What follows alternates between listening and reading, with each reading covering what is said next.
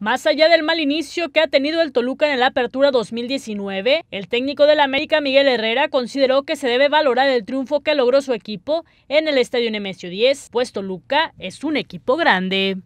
La verdad es que de repente, de repente la gente piensa que Toluca es un equipo fácil. No hablan de que Toluca también está entre los grandes, ¿eh?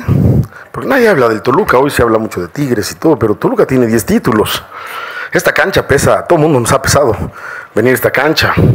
Ricardo ha ido recuperando jugadores, obviamente que iba a ir mejorando su equipo, claro. Hoy su equipo hace un buen partido, nosotros también. Nosotros aprovechamos un contragolpe bastante bien definido por Rena, pero un partido duro, no era un partido fácil.